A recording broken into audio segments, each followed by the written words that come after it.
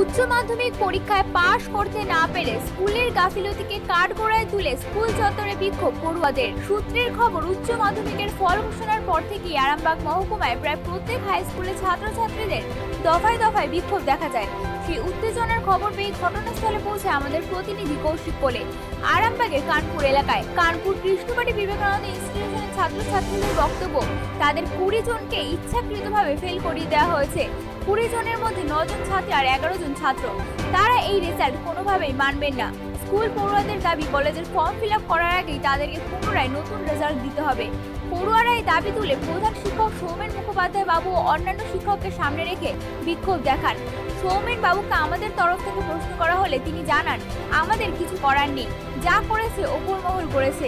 আমিও দেখছি পুরো ব্যাপারটা কি করা যায়। এই রেজাল্ট আমরাও মানতে পারছি না। ছাত্রছাত্রীরা নাম্বার কম পেয়ে অসন্তুষ্ট হলে তারা পুনরায় পরীক্ষা দিতে পারবেন, সে ব্যবস্থাও আমরা করে দেব।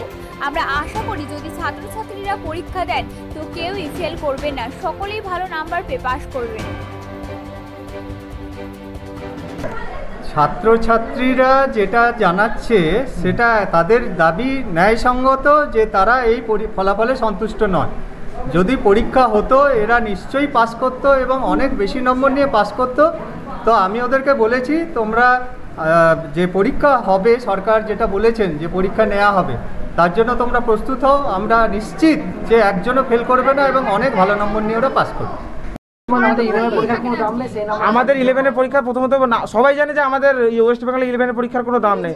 সেইখানে তো আমাদের সত্যি কথা বলতে কি আমাদের হাতে আছে স্যারেদের যে যেই নাম্বারটা পাঠাতে হবে এইখানে বোর্ডেতে, সেইটা ছেলেদের ভবিষ্যৎ দেখবে। তো স্যারেরা যেটা পেয়েছে, যেখানে ফেল করেছে ফেল পাঠিয়ে দিচ্ছে ছেলেরা ফেল করারও কারণ আছে। কারণ আপনি দেখুন, করোনা প্যান্ডামিকেতে এইখানে তো প্রথমত কোনো ক্লাস হয়নি আন্ডার ক্লাস ক্লাস সব বন্ধ ছিল। সেইখানেতে ছাত্ররা কি পড়বে আমার এখানে সব গরিব ফ্যামিলির ছেলে, সব কিষান টিষান এরকমভাবেই সব কাজ করে।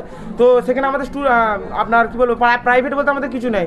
যা হয় স্কুলেতে পড়ি, এবার স্কুলেতে যেটা স্কুল বন্ধ ছিল যেখানে আমরা সেখানে কিছু বুঝতে পারিনি। পরীক্ষা যেমন একটা দিয়েছি পাস করেছি কিন্তু আমি, আমরা পাস করেছি, কিন্তু যে কুড়িটা ছেলে যে আমাদের ফেল করেছে, সেই কুড়িটা ছেলের দায়িত্ব স্যার স্যারেদের স্যার তো নিজেই ভবিষ্যৎটা তাদের নষ্ট করলেন।